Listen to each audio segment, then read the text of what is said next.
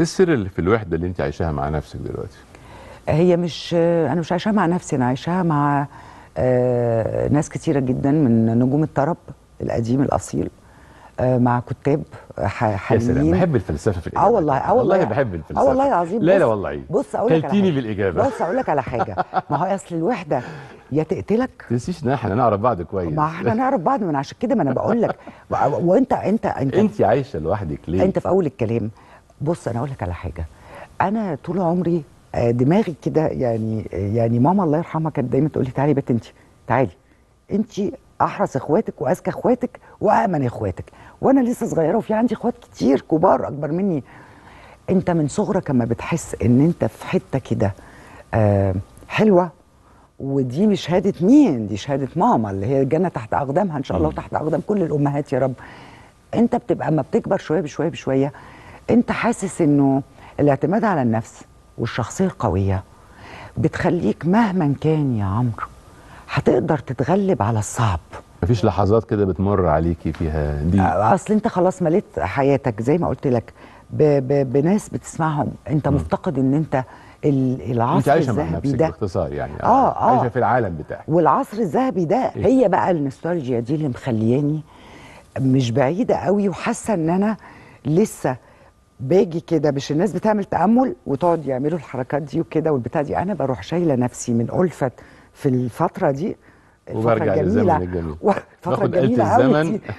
وأروح شايلة روحي. حطها في الزمن ده فبحس إن أنا متونسة بأبويا وأمي وإخواتي. أنا مش مستغربك بالعكس مصدقك جدا.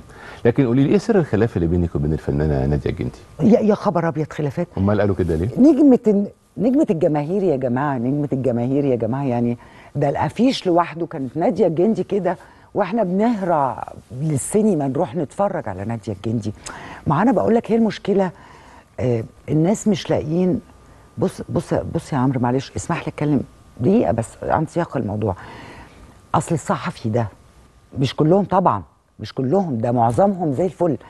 القلة القليلة دي اللي بتستغل إن هي تحور وتدور في كلام عشان الفترة دي اللي بقى فيها ال social media وال trend والتيك توك والميك موك والانستجرام والفشكرام وال- والترندات والحاجات آه اتقوا الله.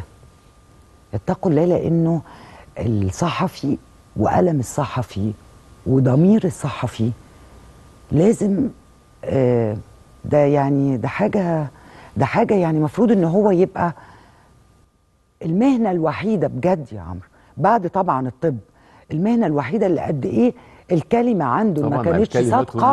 آه، آه، وبعض الكلمات القبور. الكلمة لو عنده مش صادقة هو عارف إنه آه هل يكب الناس على وجوههم في النار إلا حصائد ألسنتهم؟ فأنت اللي منوط بيك إن أنت تبقى بكاتب ماسك القلم وبتكتب الكلمة. أنت اللي منوط بيك إن أنت تبقى الصدق كله في كلمتك. أنت اللي بتعمل كده؟ عشان إيه؟ عشان ترند عشان الناس تبتدي تشير وتلايك وكده؟ آه آه يا أستاذة نادية يا زعيم يا عادل إمام يا كل النجوم الكبار دايما تحققوا إنه النجوم اللي وقفوا جنبكم وتربوا على ايديكم وتعلموا منكم لا يمكن يا فندم يخدشوا آه، آه، فنكم أو اسمكم ب- ب- ب- بدفر كده بس كده كده. لا, لا, لا يمكن. إحنا بنعتذر جدا على اللي عملوه الاخوه بالقلة القليلة من الصحفيين.